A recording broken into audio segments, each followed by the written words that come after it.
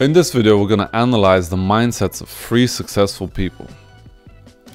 Before you set out to do anything, it's really important that you mindset check yourself to make sure that your beliefs are not self-sabotaging your efforts. For example, would a sprinter win first place if he doesn't believe he can win? We're going to analyze the mindsets of three successful people to see what we can learn from them. What hasn't Arnold been at this point? Bodybuilder, actor, senator, I can't speak for the senator part, but he was immensely successful in the first two. I used to think of Arnold as a bit of a meathead. Getting the feeling of coming in the gym, I'm getting the feeling of coming at home, I'm getting the feeling of coming backstage when I pump up, when I... But like most things, there is a lot underneath first glances. For example, he came from extremely humble background. One thing that stood out to me from watching his Netflix biopic is that from an early age he became fascinated by Reg Park. He wanted to become like him so bad that to his mother's dismay, he hung posters of him all over his bedroom, even next to his bed. The effect that this had on him is that daily he was inspired to go to the gym and start working out. He knew what he was aiming for. He had a definite goal which he saw every night before falling asleep. Perhaps this had an effect on his subconscious too. Every day without fail, he would see those posters, which would remind him and inspire him what his definite goal was. Napoleon Hill said, Set your mind on a definite goal and observe how quickly the world stands aside to let you pass. How does your environment inspire you? How does it make you feel? I'm talking about your home, your car, your clothes, your appearance, your food, your music, the news you pay attention to.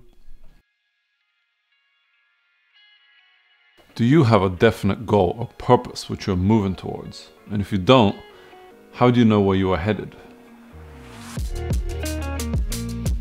You may not have heard of Ryan Holiday, but he shows up about four times the amount of search results compared to the prolific Arnold.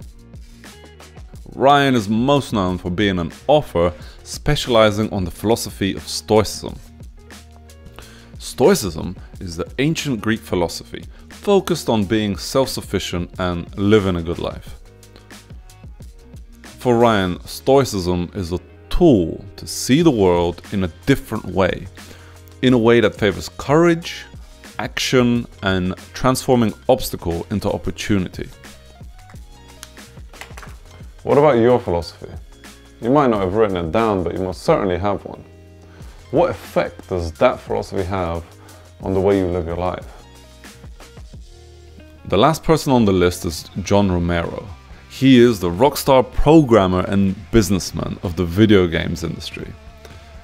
Known for, among his team, inventing the FPS genre with games like Doom and Quake. Fun fact, have you ever used WASD on your keyboard? That's because John designed that control scheme in 1992 for their game Wolfenstein 3D. By first impression alone, it's hard to believe that games like this were impressive when you compare them to our modern day graphics. But you don't have to look far to find out how mind-blowing this was to gamers back then. When Doom was released, it was making 50k worth of sales daily. That's 100k in today's money. Not bad for a core team of 5. But John didn't achieve celebrity status overnight. Doom was in fact his 90th game.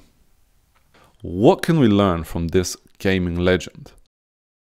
Taken from his autobiography, Doom Guy, John said, fail gracefully. Failure is a part of games, failure is a part of life, and failure is a part of success. Accept your flaws, reload your save, and try again. What is your attitude to failure? He even ends his autobiography on a quote from Samuel Beckett Ever tried, ever failed. No matter. Try again, fail again, fail better. By combining the mindsets of the three people we looked at, we can see that it's a good idea to have a definite purpose of what you want to achieve and make sure that you see that regularly. Then have a personal philosophy which is going to support the achievement of that purpose. And last but not least, not being afraid of failure, accepting that it's a part of life, it's a part of success. But what do you think? Is there something other than the mindset of these three people that we looked at that led them to their success? Which of the three mindsets are you going to have the hardest time implementing? Let me know in the comments. I would love to discuss this with you.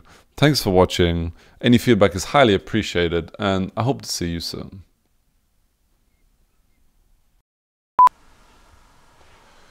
Blah blah blah blah blah blah blah blah blah blah blah blah blah blah blah